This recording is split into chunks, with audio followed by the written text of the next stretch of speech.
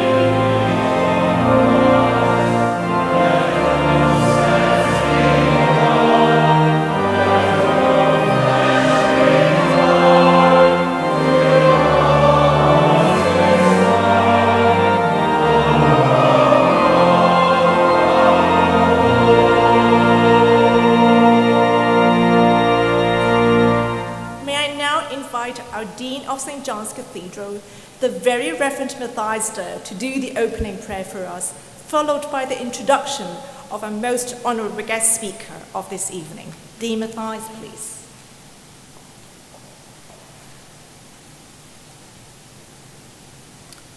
Let us pray. Almighty and gracious God, we give you thanks for your love upon us and for calling us to come close to you. And through the life and death and resurrection of Jesus Christ, you have shown us the way, the truth, and the life. As we gather for this lecture, may your Holy Spirit open our ears, our minds, and our hearts. You know our needs, and you know the circumstances that we are facing. Grant your Spirit that through the lectures of Bishop Tom Wright, that our hearts will be warmed and our souls will be lifted up towards you, and that we may be empowered to become instruments of your grace in today's world. And we pray this in the name of God, the Father, the Son, and the Holy Spirit. Amen. Please be seated.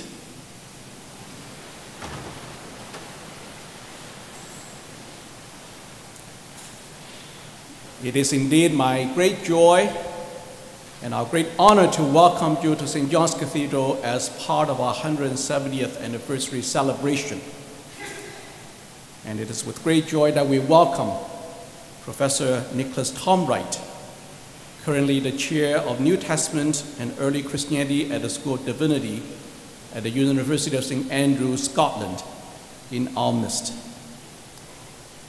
Professor Wright served as the Dean of Lichfield Cathedral from 1994 to 99, as a canon theologian at Westminster Abbey from 2000 to 2003, and then the Bishop of Durham from 2003 to 2010. And before that, for more than 20 years, he taught New Testament studies at Cambridge, McGill, and Oxford universities. Bishop Wright has authored 82 books, including award winning titles The Day of the Revolution Began, Simply Jesus, Surprised by Hope, and Simply Christians. So it is our great honor and our delight to welcome him to St. John's as our keynote speaker for the lectures as part of our 170th anniversary celebration. So without further ado, let's put our hands together to welcome Professor Wright.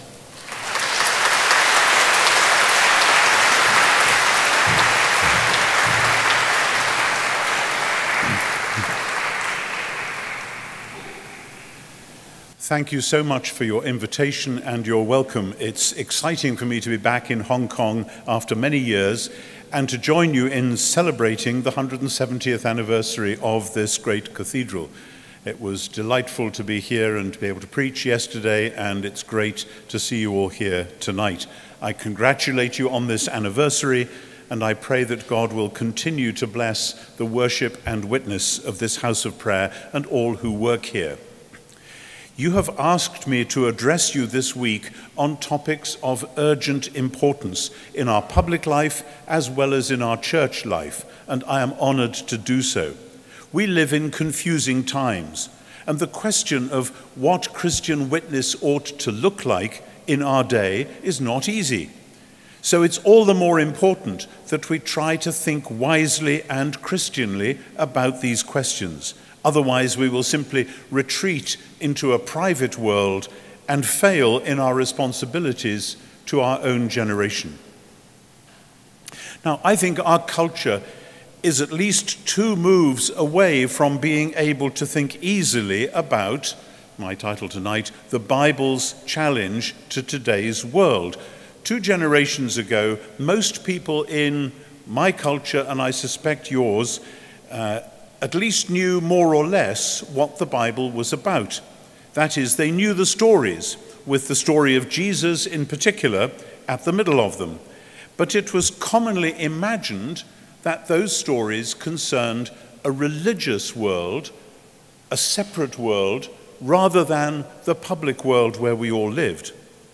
People have regularly quoted the saying of Jesus about rendering to Caesar the things that are Caesar's and rendering to God the things that are God's, as though that meant a total separation of realms and powers. With Jesus and his message being, as people say, purely spiritual, and issues of human government and law and economics and politics being a different kind of thing for which the Bible would be largely irrelevant. So that was already one remove from being relevant. But then in the current generation, even that basis of distant knowledge has disappeared. Most of my contemporaries in the UK have stopped going to church if they ever did so in the first place. Their children, the age of my children, mostly gave it no thought whatever religious education in most schools has been a low priority. And most young people in the Western world, and I think many, most parts of the world, have little idea what Christianity is, let alone what it might be or should be. So we are starting a long way back. Now, you might say, well, that's fine. That puts us on a level with the early church. In the second century AD, Nobody in the world of Greece or Rome had been expecting anything like the Jesus movement. When those Jesus followers appeared in a town or a city, people didn't say, oh, well, here's a new religion. They had plenty of religions with temples and priests and sacrifices and processions and so on. Early Christianity wasn't a bit like that. The early Jesus followers looked to the public gaze like an odd combination of a multi ethnic synagogue on the one hand, sounds like a contradiction in terms, and that's how people saw it, and some sort of a philosophical club talking about who God was and how you should behave. There were no other movements like that. And they not only talked about this man, Jesus, but they did lots of Jesus like things. And by the end of the second century, the authorities had begun to realize this might be dangerous. Because the church was offering, by what it was as well as what it said, a challenge to the power structures and the economic structures of ordinary life. And they were doing so because they were following Jesus and thereby telling and retelling the story of the Bible. And that's where we meet this evening's title. Now, of course, this evening's title is a shorthand, this rather splendid phrase, the Bible's challenge to today's world, and then the sub question, how does the Bible speak truth to power and money today? These questions have telescoped together various different things, and we need to expand them back again to see what's going on. For a start, when we're talking about the Bible's challenge to the world, that's really a shorthand for God's challenge to the world through the Bible. As long as the Bible stays on the shelf unopened, it won't be challenging anyone. But God is the creator of all things and all people. And God calls all people to know Him and honor Him and follow Him.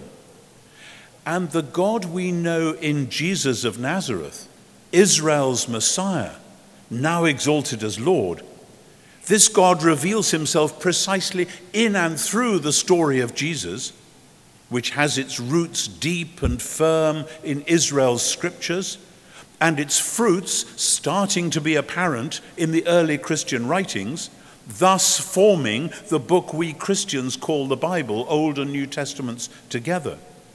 So, part of the point of talking about the authority of Scripture or the challenge of the Bible, or of the Bible speaking to anyone at all today, is that the God of the Bible is the God who calls human beings to grow up in understanding, to exercise their human responsibilities by grasping or being grasped by the great story of creation and covenant, which comes to fruition in Jesus and which then opens out to include the whole world in the story of new covenant and new creation.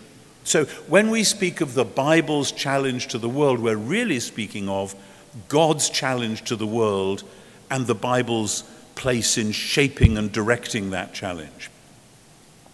But then, second, the fact that this challenge comes to us, as it were, Bible shaped, is itself a sign of the way that this true God delights to work in his world.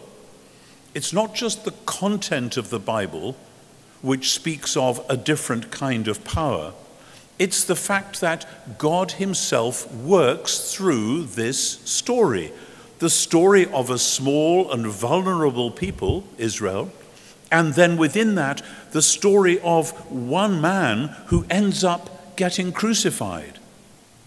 God works through the Bible because this story subverts all other human stories, and because the Bible, by being a book, and remember that the early Christians taught people to read precisely so they could understand the Bible. God works through the Bible because the Bible challenges its readers to grow up in their understanding, to think things out, to become more fully human instead of just drifting with the cultural or political tides of the day this way or that. But this is to run ahead of ourselves a bit. So, if the Bible challenging the world is first a shorthand for God challenging the world, and then, second, if God challenges the world specifically through Jesus and his story, then the third point, which we've telescoped together in our title, is the fact that the challenge will always come through men and women and children who speak it because they are themselves grasped and shaped by the Bible and are living it out in the world. The idea of the Bible's authority and challenge must itself be clothed in flesh and blood. It may be enough for us as Jesus' followers to know what the Bible says and to see ourselves as submitting to it. But even in a culture which might be reasonably friendly to Christianity, it won't do simply to go to the people in power, to the people who make decisions in government or banking or business or whatever, and simply say, the Bible says. They may hear you out courteously. They are unlikely to change their policies just because you have quoted texts at them.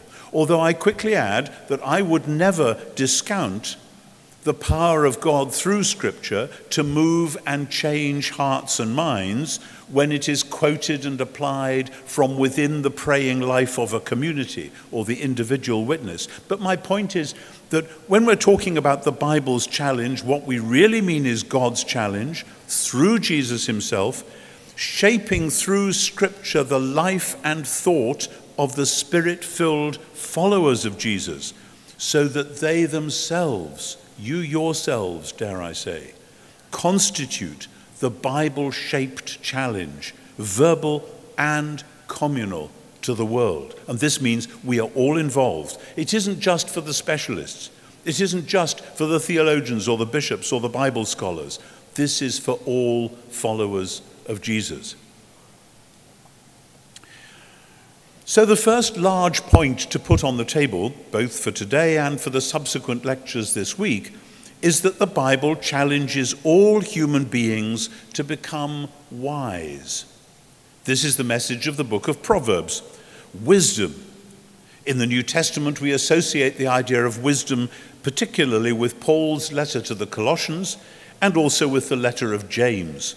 These books make explicit a theme which is rooted in the book of Genesis itself, right at the beginning. All humans are called to be wise because wisdom in the Bible is the shorthand for understanding and reverencing God the Creator and reflecting His life and His love and His purposes into the world. Human life is not random. Learning how to live in the world isn't just, though it sometimes feels like this, a matter of blundering around trying to get it right. No, the so called wisdom literature, like the book of Proverbs, contrasts the wise person with the fool. And the wise person is the one who is living with the grain of the universe, living out of reverence for God the Creator and hence able to navigate the complex challenges that are out there in the Creator's world. Now, of course, things don't always work out the way they should because there are dark forces at work in God's world, as the book of Job and some of the Psalms, never mind anything else, bear witness. But the challenge to wisdom remains the overarching biblical theme, precisely because there is one true God, the Creator, and we humans are made to worship Him and to reflect Him. Every other specific challenge that needs to be issued to those in power or to those who control financial resources is a subset of this fundamental challenge to wisdom. But the biblical challenge to wisdom comes in a second form as well. You can see these two in the first two Psalms. Whoever edited the book of Psalms did a very clever job in putting these two at the beginning. In the first psalm, there is a straightforward contrast of the righteous and the wicked, like the wise person and the fool in Proverbs. The one goes this way and the other goes that way, and the consequences follow naturally. That is the rule in normal times. But the second psalm indicates that the times are often out of joint. Why do the nations rage? asked the psalmist. And why do the peoples imagine a vain thing? The kings of the earth rise up, and the rulers take counsel together against Yahweh and against his anointed. Those words were written coming up to 3,000 years ago, but they are as relevant as tomorrow morning's newspaper. So the psalm names the problem our problem, the problem of human history, the problem of the 20th century, and now most certainly the problem of the 21st century, namely that those who wield power in the world, those who control the world's resources, are again and again in rebellion against the Creator and against the Creator's wise, ongoing purposes for the world. They are using power and money for their own, often wicked purposes. So, what is to be done? That second psalm, Psalm 2, was a favorite among the early Christians, and there's good reason for that. It does what this evening's title says namely, it confronts the rulers and the power brokers of the world with a word from God Himself. Here are the powerful people getting themselves into a tangle with one another and ranting against God in the process. That pretty well sums up the history of our planet for many centuries, never mind the time of Jesus. And then God responds. And God says to them, Okay, I've sorted it. I have set my king on my holy hill of Zion. I've established my king there. And in the original context, this referred to King David and Solomon and their successors, because in the strange purposes of God, the establishment of Israel's monarchy seems to have been designed to bring justice and peace to a warring and confused world, to bring God's order into a world of chaos. Think about it. That's what the original call of Genesis 1:26 was designed to do, to get the human beings to work in the wilderness and make it a garden.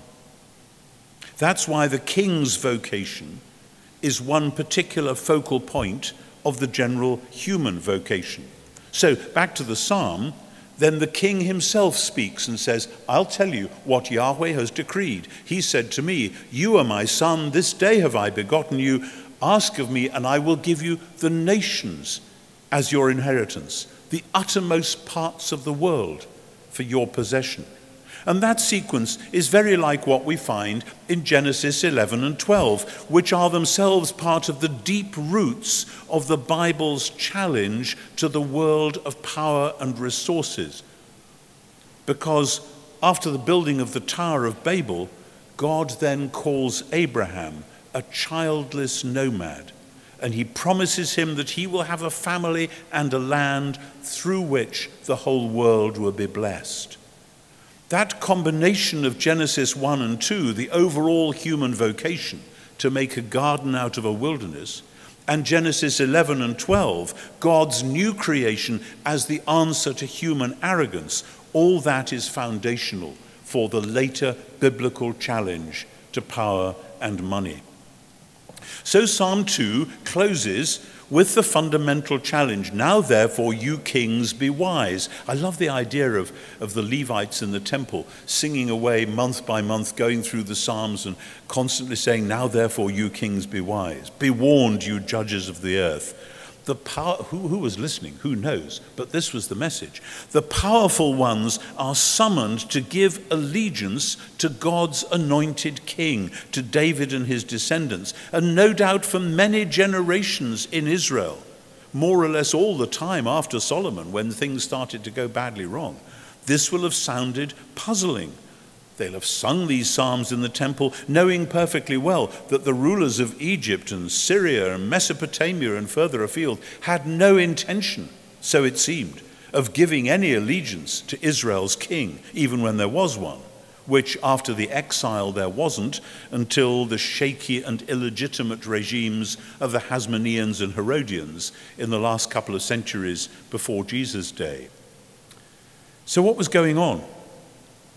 When the early church began to figure out what following Jesus would mean in practice, it was to this promise and warning that they looked back. You can see this in the fourth chapter of the Acts of the Apostles. At the first signs of persecution from the authorities in Jerusalem, they quote Psalm 2 in prayer and they declare that it's all now coming true. The warring nations of the world was symbolized by Herod and Pilate, who got together to put Jesus of Nazareth on the cross. And God raised him from the dead, thereby declaring that he, Jesus, was the true Lord and that they, Herod and Pilate, were radically out of line. And at the point where the psalm says, Now therefore, O kings, be wise and be warned, you rulers of the earth, and give allegiance to God's anointed Son. The praying church in Acts 4 declares, Now therefore, they use the same phrase, grant to your servants to speak your word with all boldness while you stretch out your hand to heal, and signs and wonders are performed in the name of your holy child Jesus. See what's happened? The prayerful, powerful witness of the church in word and in deed constitutes the fresh challenge, the biblically rooted challenge to the powers of the world, declaring that Jesus is Lord and summoning the world to fall into line.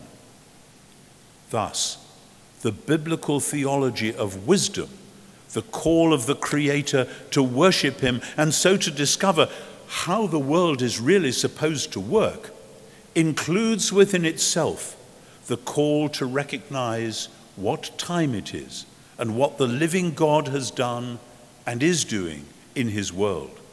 And with Christian hindsight, this translates into the summons of the gospel itself, the call to follow Jesus. And that's how it's seen again and again in the gospels and by Paul and in the other early Christian writings. But at this point, we run into a problem which has to be named explicitly and explored carefully. Because, as I said at the beginning, in the modern world, it is widely assumed that the call to follow Jesus belongs in a different universe, a religious world to which the people who run the real world need pay no attention. So, did the psalmist get it wrong? Did the early church get it wrong? Was this challenge to the ancient world whistling in the dark, or did it become out of date, or what? Now, the basic point about the Bible's wisdom teaching, as in the book of Proverbs, is, as I've said, that it's designed to show image bearing human beings what it means to live wisely within the world of creation. Creation and humans are, so to speak, made for one another. We're not an accident crawling around thinking that the world can't possibly be a home. There should be a natural fit.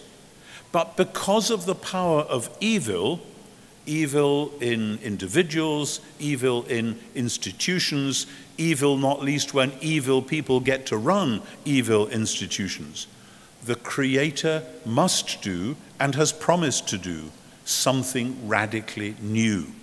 The Creator promised, it's there throughout the Old Testament, to act dramatically to break the power of evil and thereby to launch new creation upon the world. A new creation which would, confusingly at times, overlap with the present creation, breaking in upon the world with a new kind of life and power. And the point of this new creation is that it is precisely new creation. It's not a separate world, forgetting the old world. It reaffirms the goodness and the God givenness of the original creation and thereby reaffirms the importance, the vital importance of living wisely, especially for those who are called to particular responsibilities, called to handle power or money. But the point of the new creation, which the early Christians believed had been launched when Jesus of Nazareth overcame the power of evil on the cross and rose again on the third day, the point was that now a whole new possibility emerged. A world in which heaven and earth would come together. A world in which God's promised future would arrive in the present ahead of its final appearing a world in which healing and hope, forgiveness and new starts were not just a distant dream, but a present reality. And that is the world in which the early church and we, as their descendants, are called to voice and to live the Bible's challenge to today's world, particularly in the areas of power and money in many other areas too, of course, but these ones are always high on the list. Where we've gone wrong down the years, I believe, and I'll be saying more about this in each lecture, it seems to come as a recurring theme, is in trying to combine the message of the Bible with the teaching of Plato. Now, Plato, the great 4th century BC disciple of the even greater Socrates, was one of the finest philosophers ever to think through the great questions of the world. But at its heart, his philosophy was dualistic. The present world of space and time and matter may be a fine place, not without some signals of ultimate truth, but for Plato it's essentially secondary, a world of shadows rather than of ultimate reality. So there is a different world, a spiritual world, a heavenly world, if you like. And one day, says Plato, our souls may even find their way back there. Now, I shall be talking later this week about how misleading that is as a way into understanding the Christian hope, though there is a lot of muddle about that among Christians around the world today. Because our hope is not a hope for a disembodied heaven, but for the new creation, the new heavens and the new earth, which fulfill Jesus' intention and prayer that God's kingdom would come on earth as in heaven, as we pray day by day in the Lord's Prayer. And in the second and third centuries, it was precisely because they were living out this hope that the early church was persecuted by the Roman Empire. The people who went with Plato, who believed in a super spirituality in which the present world became irrelevant, so that the only thing that mattered was a secret inner life and a non physical immortality after death. They were called the Gnostics. I'll say more about them on Wednesday, God willing. The great teachers of our church rejected them. The Gnostics were not persecuted because they posed no threat to Rome they posed no challenge to the world of power or money or anything else. They had nothing to say to those worlds except that they weren't bothered, weren't interested. And here's our problem many modern Western Christians have assumed that something like Gnosticism is the truth, without realizing the extent to which it is a corruption of the early church's teaching of creation and new creation of wisdom and renewed wisdom, of the good news that Jesus has defeated death itself and has launched God's new world in the resurrection. Again, I shall be saying more about all this later in the week, but for the moment I want to invite you to consider the book of Acts. It's all about power.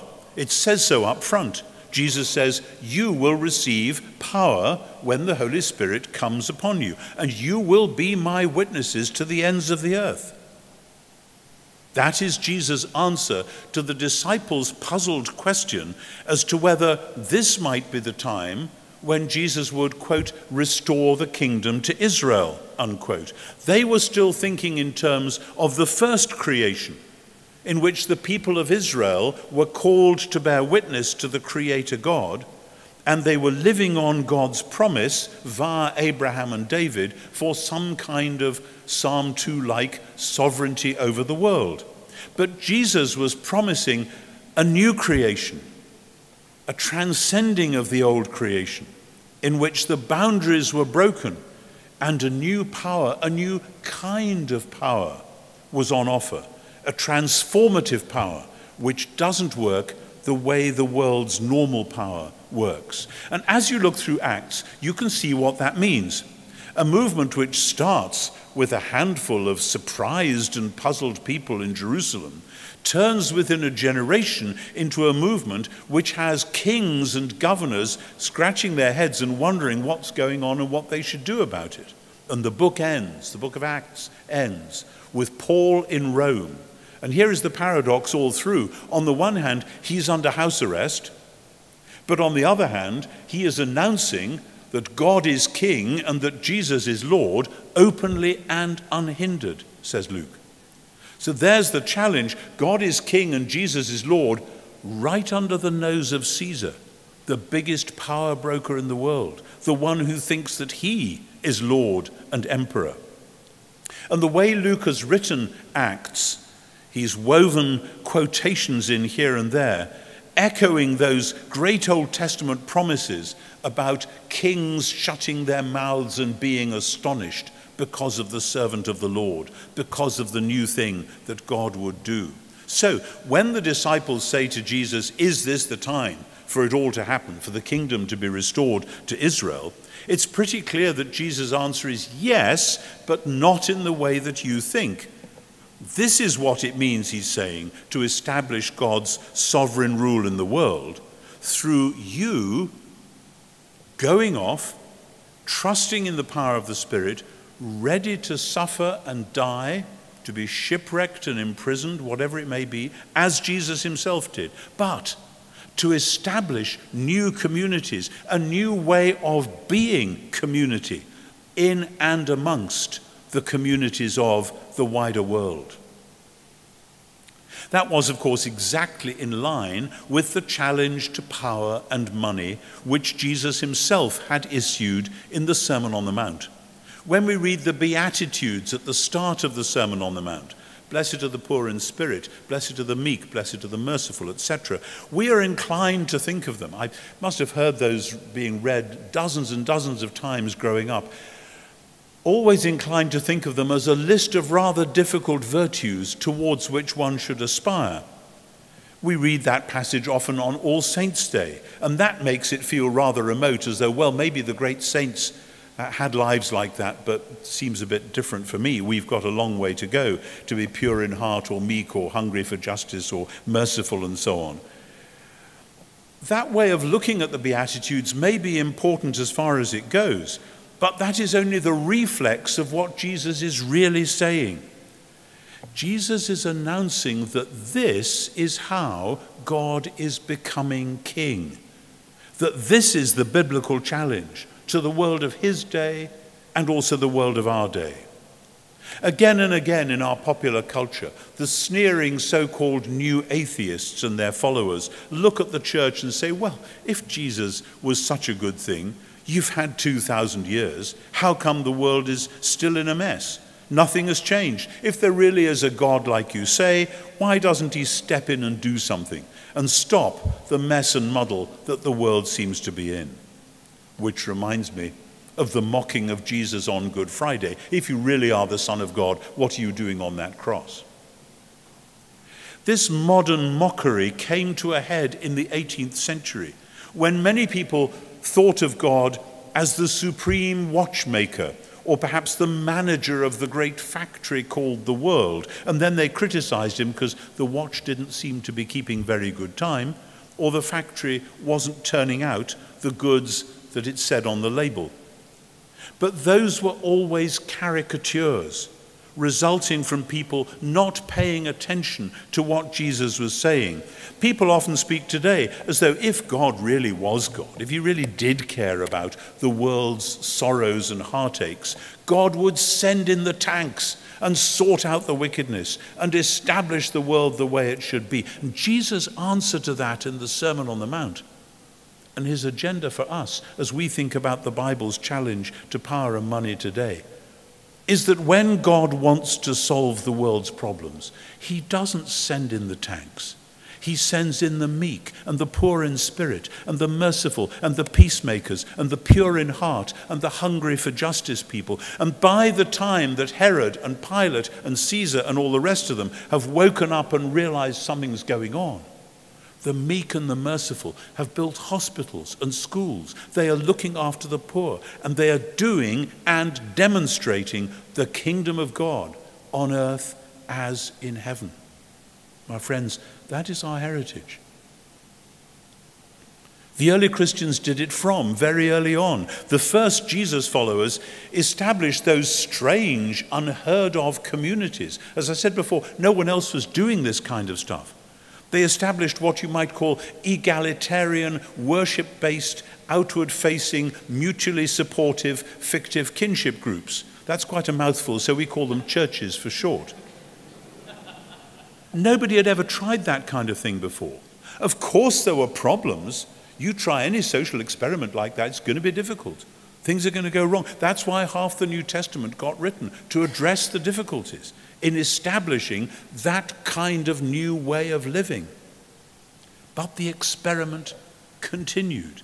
And at its best, and there's more of the best than you might imagine, that is what the church still is today.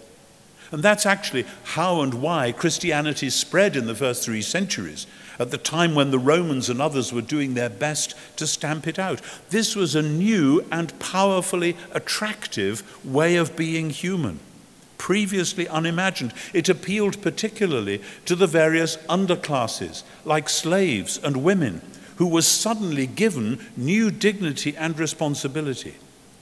That already spoke volumes about power and money, since slaves and women were in the ancient pagan world more or less property under the power of some man or other. And the Jesus followers were modeling and explaining as they went along what it meant that the creator of the world had launched his new creation. And that they, as individuals, and more especially they, as communities, were the pilot project for this new world. God had put them right with Him so that they could be putting right people for the world.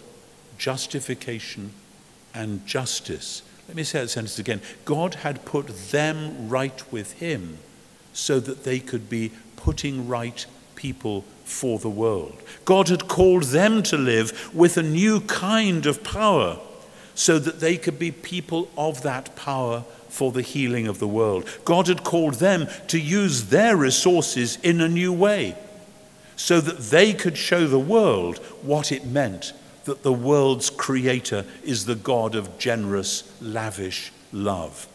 That's how it all began. A good deal of this comes to a particular focal point in the 10th chapter of St. Mark's Gospel. Again, I want to stress the way in which this challenge to today's world is designed to function.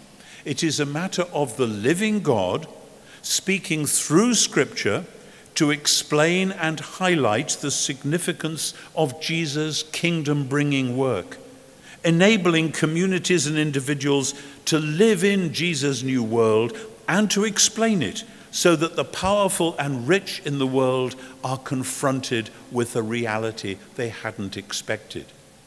In the middle of Mark chapter 10, we find a rich young man running up to Jesus to ask him what he ought to do to be sure of attaining the age to come. We need to pause a moment and remind ourselves, again, I'll come back to this later this week, that in most translations it says, What must I do to inherit eternal life?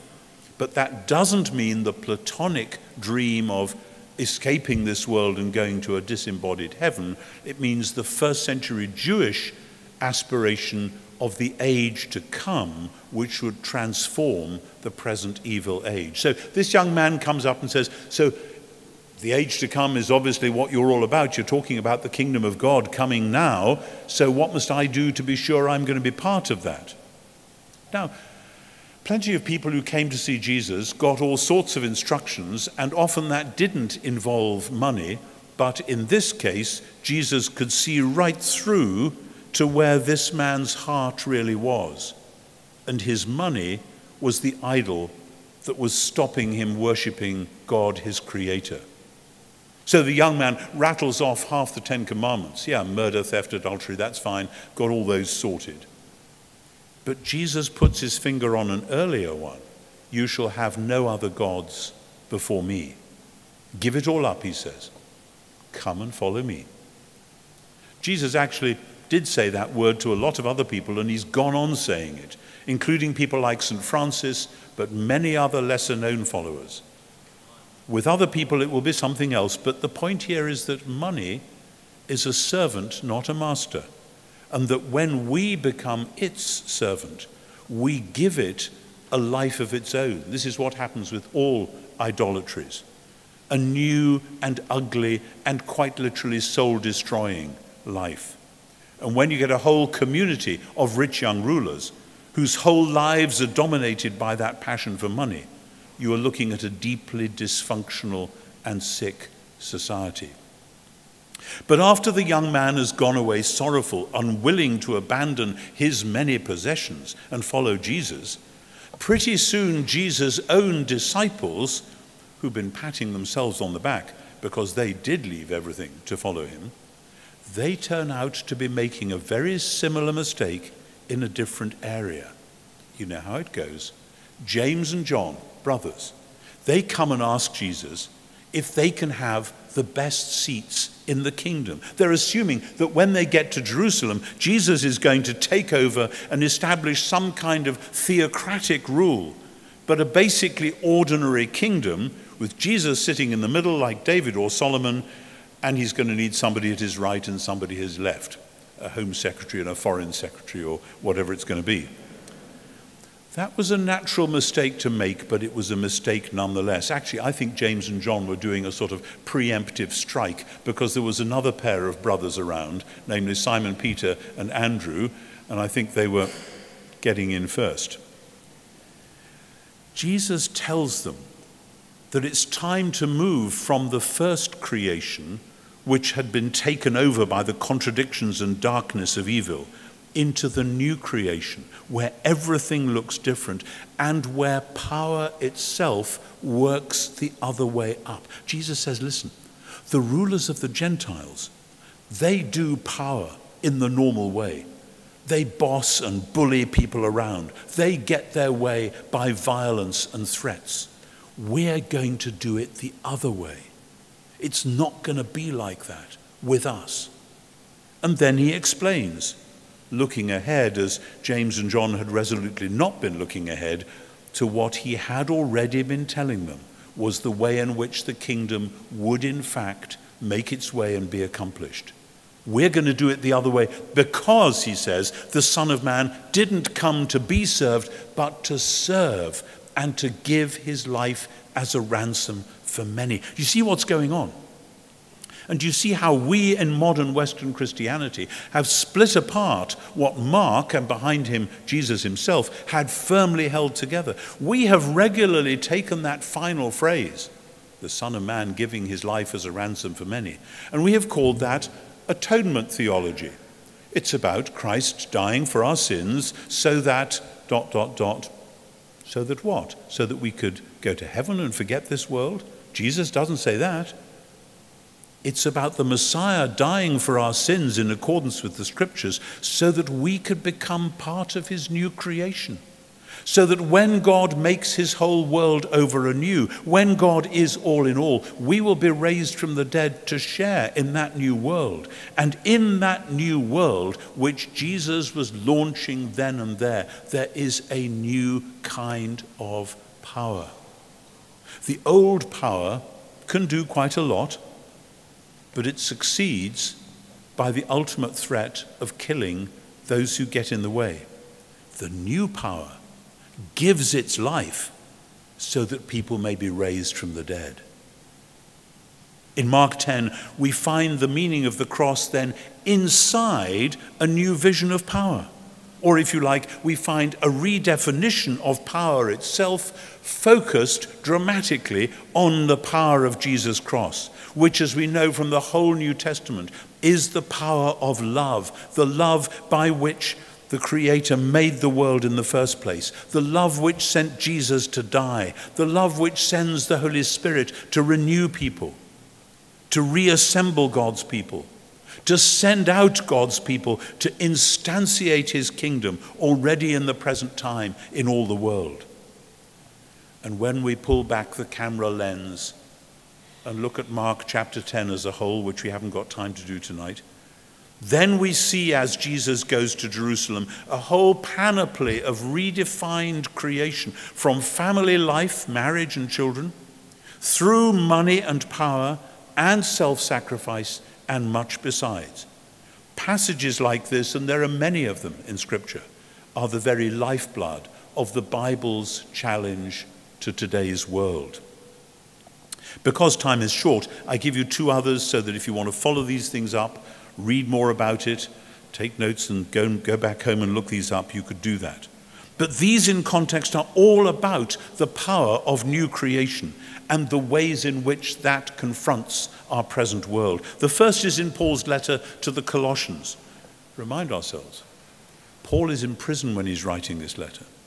He knows all about the dark powers of the world that sometimes came at him full on and sometimes sneaked up behind through the cunning of a false co worker or the lies of a local magistrate or the irrational anger of a whipped up mob.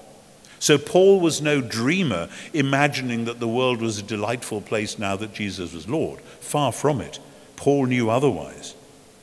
But Paul can say, Colossians chapter 1, one of the greatest early Christian poems, that all things in heaven and on earth, all principalities and rulers and powers, were created in and through and for the Messiah, Jesus himself. He was the one through whom the worlds were made, for whom the worlds were made, including their power structures. And then in the second half of the poem, Colossians 1:18 to 20, Paul declares that all things including again all power structures have been reconciled to God, again through and for the Messiah, through and for Jesus by means of his death on the cross. Paul doesn't say in this poem what happened to those good created powers in order for them to need reconciling. He says very briefly in the next chapter that they were defeated when Jesus died on the cross. As often with Paul, we want him to fill in the gaps, but he doesn't. He's in a hurry. But the point for our purposes ought to be clear. The new creation is not the abandonment of the old one, but its restoration to proper functioning once the dark power of rebellion and death has been overcome. And the whole of Colossians not least the bracing ethical instructions in chapter 3, are to be seen not just as a code of ethics, as a general set of rules for life, but as the powerful way of life through which the new creation is exemplified before the surprised world. The way of life, which is the way of life of Jesus' followers, and which embodies and articulates the Bible's challenge to today's world.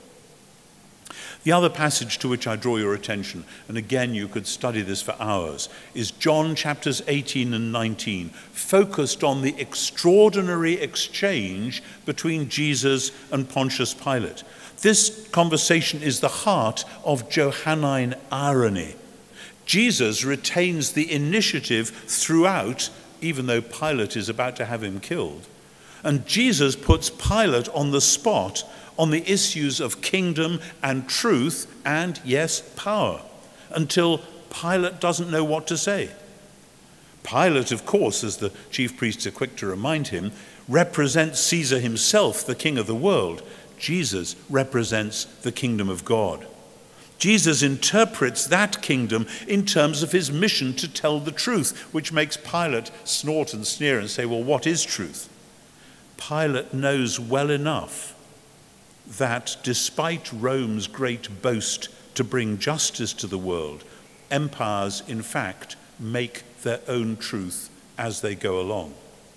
But Jesus has come to speak truth to power, and there he is doing it, to tell and to live the truth of new creation, the new creation which will come into being when death itself is defeated, a victory in which Pilate will play his unwitting role, labeling Jesus in public as King of the Jews. In other words, the Psalm 2 man, the true Son of God, the true Son of David, the one who will hold the nations to account and warn their rulers to behave themselves. Until we learn to read John like this, we're not really getting to grips with the Bible's challenge to the world. And so Jesus rebukes Pilate at one point. Pilate says, Don't you know that I have the power, there it is, to, to crucify you or deliver you? And Jesus says, You couldn't have any power over me unless it were given you from above. So the one who delivered me to you has the greater sin. There's the point. If even Jesus acknowledges that even Pontius Pilate has a God given authority over him, then we see that the created order really is good and that the Creator really does want human beings to exercise responsibility within it. But they will be held to account for what they do with their God given power. And the power that will hold them to account is precisely the power of new creation, the victory which will be won in Jesus' death, and the new world which will be launched in his resurrection. This is the victory which overcomes the world, declares John in his first letter, even our faith. So there's much more we could say about power from Colossians and John and elsewhere, not least the book of Revelation, incidentally. But I trust that the point has been made. And as I move towards my conclusion, it's time briefly to consider more specifically what this might mean in our own dangerous and disturbing world today. I've been emphasizing that the story we find in Scripture, the great story which focuses on Jesus himself and climaxes in his death and resurrection, his ascension and the sending of the Spirit, the story which is rooted deep in Israel's scriptures and explained in the writings of the early church, this story is given to the followers of Jesus to be our marching orders. The Bible speaks truth to power by enabling us to live and speak the new way of power. We are to speak the truth to the God Mammon by living in a new relationship to all our resources, money included. The church grasped this from the beginning. When Paul met Peter and James and John in Jerusalem, recorded in Galatians chapter 2, the one thing they insisted on, according to Paul in Galatians, was that Paul should, quote, go on remembering the poor unquote. The inside out view of money, that we have money in order to give it away to those who need it, was central to the church's existence from the start. And Paul himself modeled with pain and difficulty the new way of power, never more so than in the crisis which precipitated the writing of 2 Corinthians, where he declared, When I am weak, then I am strong. That was the point. He was living out the message and the meaning of the cross, not only before the church, but before the watching world. Now, we need hardly add that the church has not always been good at getting power and money sorted out in its own life, still less in bearing witness before the world. But part of our problem today is that our media, embodying the sneering prejudices of secularism, I confess I haven't been reading your local newspapers here, so I have no idea if they would do this too, but they certainly do in the UK the media embodying the sneering prejudices of secularism is ready to pounce on anything which the church does wrong. And there's always been plenty of that, but the media never wants to publicize all the things we do right. One of the joys of being a bishop when I was working in Durham in the UK is that I saw the church being the church in so many, many local situations which never made it into the papers, but certainly made it into the hearts and lives of real ordinary communities and into the consciousness of many in local government. I witnessed situations where local authorities had been trying to sort out some situation of whether it was drug addiction in one particular poor community or a really bad and difficult school which they didn't seem to be able to change. But the church was able, through humble and self giving service in some of the toughest parts of the northeast of England, to transform a school here, a hospice there, a rehab centre, a prison visiting facility, and so on. A few years ago, someone drew up statistics in the UK about who was volunteering to do all the things which governments can't do, but which help to make a community function. And again and again, it was people in the churches who stood out, not all by themselves, of course, but regularly taking the lead. We have more and more food banks in the UK today than we ever had. Most of them are run by churches. And the thing I really like about that is that these tend not to be folk who have studied political theology and are then saying, okay, I've worked out the theory, now let's go and put it into practice. They're simply ordinary praying Christians who spot a local need and get together and do something about it. And it's out of that local concern that there grow larger national initiatives. The Archbishop of Canterbury, coming himself from a business background, has launched initiatives to prevent the big loan sharks from fleecing the poorest of the poor. And globally, the Jubilee 2000 project 20 years ago brought together churches of all sorts to protest to the British government against the unpayable compound interest that was being charged on loans to third world countries. There's a long way still to go on that one, but considerable debt remission did take place with lasting transformative effects for the countries concerned. Of course, the hypocrisy of the system emerged in 2008 and 9 when, at the height of the financial crash, the big banks came cap in hand to ask for their debts to be remitted.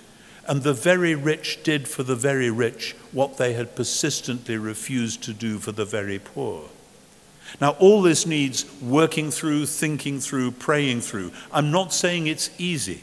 But I am saying that with the gospel of Jesus, a new way of being human has been launched, and that this challenges the ordinary ways that the world does power and money and much besides. And I am saying that the church, centrally in its mission, must model and articulate this biblical challenge before the world. To say it again, the church often gets it badly wrong in these and other areas of life. There is a reason why we say, Forgive us our trespasses every day in the Lord's Prayer. But that, of course, goes with the prayer that God's kingdom will come and his will be done on earth as in heaven, not somewhere else. And the church that prays that prayer and that learns to live by that prayer will be the church whose very existence calls the world to account. That's, after all, what Jesus promised in John chapter 16 that when the Spirit comes, the Spirit will call the world to account because of sin and righteousness and judgment. How will the Spirit do that? Precisely through the life and the explanatory teaching of Jesus' followers. That will mean Christians being trained carefully and deeply in the finer points of power and money. There's no point people like me, a theologian rather than an economist, pretending to understand all the small print. But without the vision from Scripture, we won't even get to the large print, let alone the small stuff. We need the vision, the new creational vision of a different way to be human, a different way of power, a different way of resources. That's what the church at its best has always held before the world. That, please God, is the challenge of the Bible to the world today. The speaking of truth to power and money and every other idol that gets in the way of the healing purposes of our loving God. So may God be with us and give us courage and strength to be faithful to this mission and message in the days to come. Thank you very much.